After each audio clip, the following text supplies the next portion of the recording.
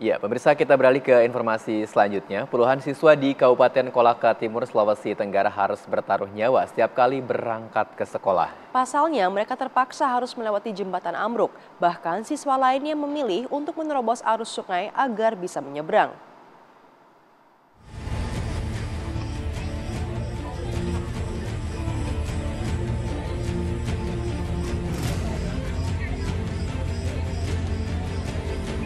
Pilu. Seperti inilah pemandangan yang terlihat setiap kali para siswa berangkat ataupun pulang dari sekolah di Desa Alaha, Kecamatan Wesi, Kabupaten Kolaka Timur, Sulawesi Tenggara.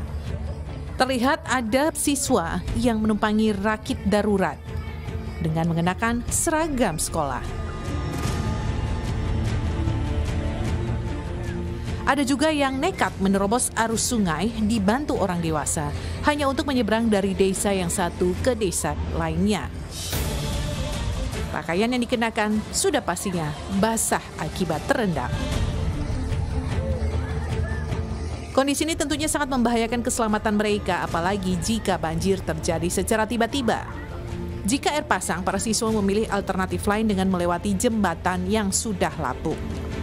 Sampai saat ini, para siswa masih dibantu anggota TNI dan sejumlah guru agar terhindar dari celaka.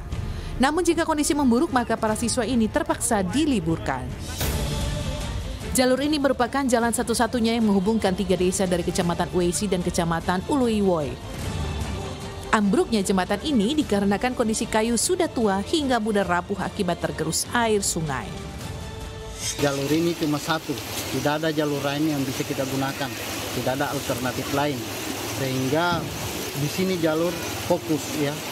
Eh, terutama juga yang berada tiga desa di atas ya itu. Fokusnya di sini semua jalurnya. Tidak ada jalur alternatif yang bisa kita jalani yang lain. Tidak ada.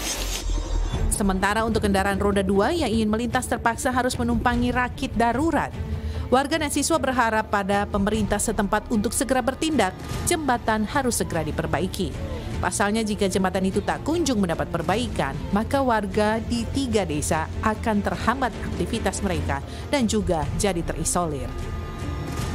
Demikian laporan Erdika Mukdir dari Kolaka Timur, Sulawesi Tenggara.